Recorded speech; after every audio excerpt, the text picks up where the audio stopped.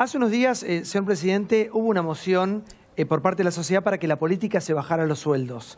¿Cuál es su opinión al respecto? Yo ya expliqué lo que creo.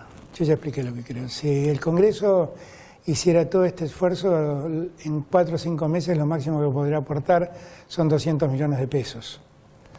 La verdad es que esa no es la solución. Y la verdad yo no estoy dispuesto a pedirle algún ministro mío que está desde las 7 de la mañana hasta la 1 de la mañana trabajando y a disposición de la gente que se baje un sueldo.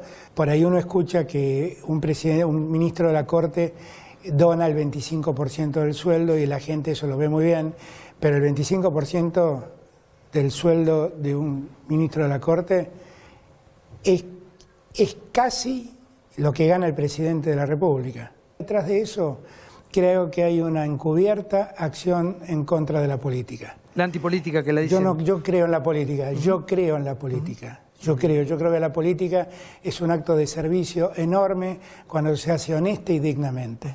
Obviamente, un político corrupto salpica todo, pero la, la inmensa mayoría de los que trabajan y trabajamos en el gobierno nosotros estamos absolutamente dedicados a trabajar honestamente.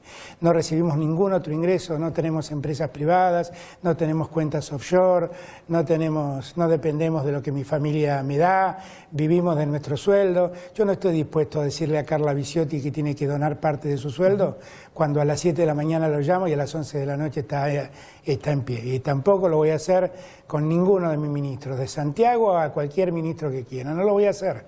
No lo voy a hacer porque eso es un acto, eso es un acto de populismo que en verdad no resuelve el problema.